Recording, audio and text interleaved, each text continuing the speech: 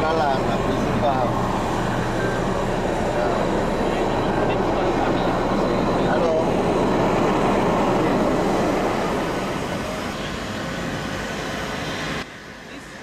A psicologia na aviação.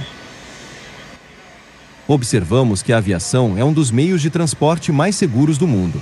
E por que tantos acidentes ainda acontecem?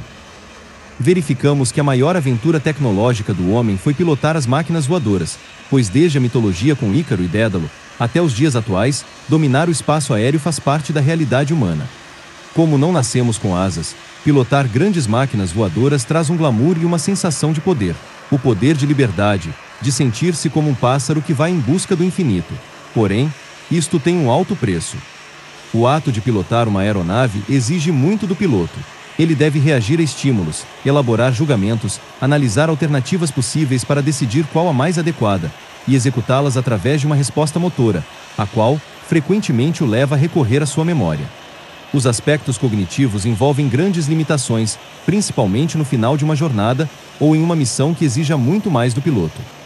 Podem ser encontradas influências relacionadas às condições individuais de sua personalidade, que podem ser tanto fisiológicas quanto psicológicas.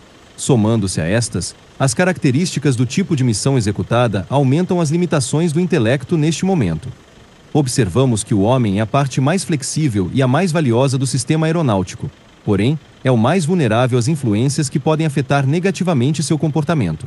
E quando ocorre um incidente ou acidente aeronáutico, o júri popular de imediato delega a culpa ao piloto, mas se esquecem dos fatores subjacentes que envolvem as verdadeiras evidências do fato. Então, o fator psicológico passou a ter outro papel, não só o de selecionador, mas também o de auxiliar nas investigações, levantando os fatores contribuintes que levaram ao acidente, ou seja, as causas que encobriam a suposta falha do piloto. Ao se estudar estes fatores, observou-se que a psicologia poderia contribuir muito mais, tendo um papel fundamental neste processo. Com a leitura do CVR, Cockpit Voice Recorder, constatou-se que, entre 70% a 80% dos acidentes acontecem por falha humana, ou seja, há uma sequência de falhas que estão relacionadas ao fator humano, as quais podemos citar.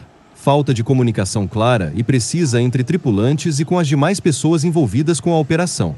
Falhas no relacionamento interpessoal que dificultam a sinergia da equipe, principalmente em situações de emergência, comprometimento do processo decisório em situações de emergência, falta de percepção de todos os elementos que envolvem uma determinada situação em um curto espaço de tempo, faltando por vezes consciência situacional, falta de liderança, surgindo dificuldade em delegar tarefas em situações de emergência.